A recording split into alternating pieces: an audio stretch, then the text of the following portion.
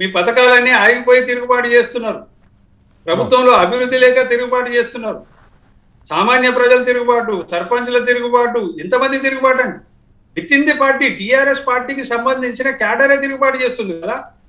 ఇంకా ఈయన తాలిబాన్లు రోడ్డే రోడ్డెక్కాలని చెప్తుండు సర్పంచ్లను తాలిబాన్గా అయ్యి రోడ్లెక్కుతారా? ప్రభుత్వం మీదకి రోడ్లెక్కి మాట్లాడే పరిస్థితి ఉన్నది కదా.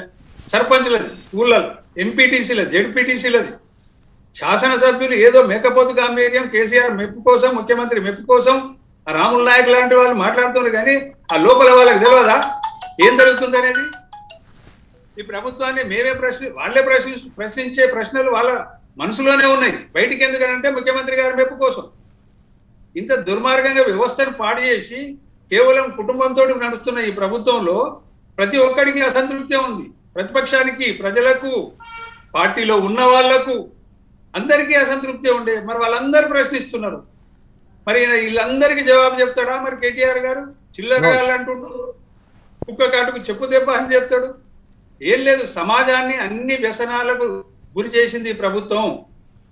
ఏ ఏ రకంగా అంటే అది అది డ్రగ్ కావచ్చు గంజాయి కావచ్చు మందుల కళ్ళు కావచ్చు గ్రామాలలో కూడా ఈరోజు గంజాయి తాగుతున్నటువంటి యువత తయారై. కారణం ఏంది? కంట్రోల్ ఎక్కడ ఉన్నది ఈ ప్రభుత్వాన్ని?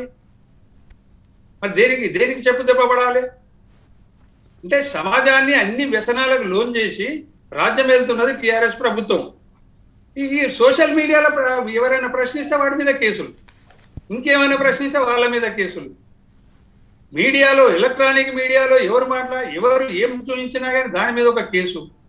అంటే ఎక్కడ ప్రశ్నించినా కేసు నిర్బంధం అరెస్టులు ఇది తప్ప ఈ ప్రభుత్వం దేనికి జవాబు చెప్తున్నది. రాజద్రోహం కేసు కూడా రాజద్రోహం కేసు కూడా పెడతామన్నారు రాజద్రోహం కేసు పెడతాం రాజద్రోహ ద్రోహం కేసు పెడతామని కేటీఆర్ గారే ప్రకటించారు ఈయన రాజు ఈయన ప్రజల మీద ద్రోహం కేసు పెడతాడు.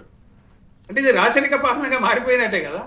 అంటే అసమర్థత వైఫల్యాలు ప్రభుత్వానికి అడుగడుగున కనపడుతున్న సందర్భం ఇది.